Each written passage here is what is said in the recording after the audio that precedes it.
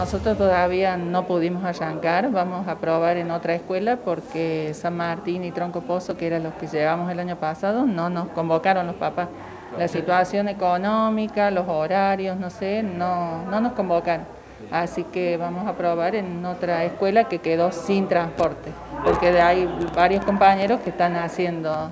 El Tronco Pozo no, no se queda sin transporte escolar privado. Está el colectivo que lleva muchos chicos. Así que está difícil, está difícil. Vamos a probar y encima esto del COVID que también eh, da miedo a muchos de, viajar con otros chicos, con otras personas. Vemos que lo hacen más todos familia. Así que eh, vamos, esperemos. Laura, ¿esto se replica en, todos los colegas, digamos? Sí, sí, en realidad en la zona somos alrededor de 15 transportes. Hemos quedado entre Jesús María y Colonia Carolla 5 en el día de hoy. Muchos vamos a probar suerte en el mes de marzo, otros van a esperar a ver si en abril largan y otros definitivamente han decidido que en este año no.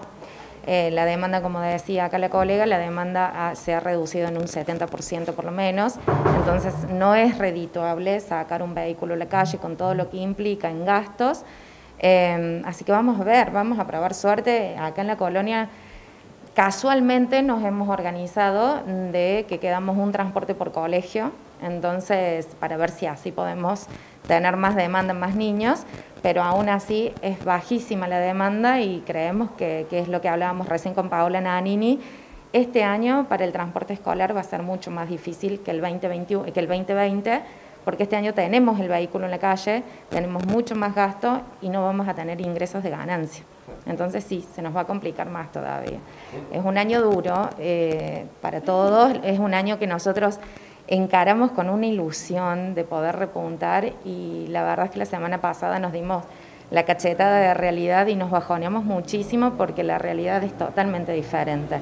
Nosotros hemos tenido que subir las tarifas, es algo lógico por todos los aumentos que ha habido, por, todo el desbarate que ha habido en, precios.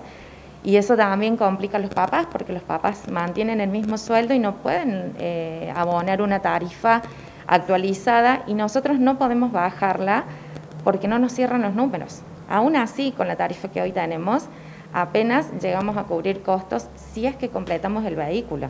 Si no completamos vehículo, directamente vamos a, a pérdida. Eh, ¿Qué va a pasar si esta situación no cambia? No, se, se queda, queda el vehículo en casa y se buscará otra, otra cosa. Los que tienen emprendimientos privados seguirán con lo que, con lo que se puede. No, no, no, no, no dan los números. Si no cambian, no dan los números. Eh, y, y no se ve perspectiva, más con todos los casos de COVID que se escuchan en la radio que hay en la zona. Uno miedo de que cierren las escuelas también. Y ahí, ¿qué se hace? Si se cierra como el año pasado. No, está muy difícil.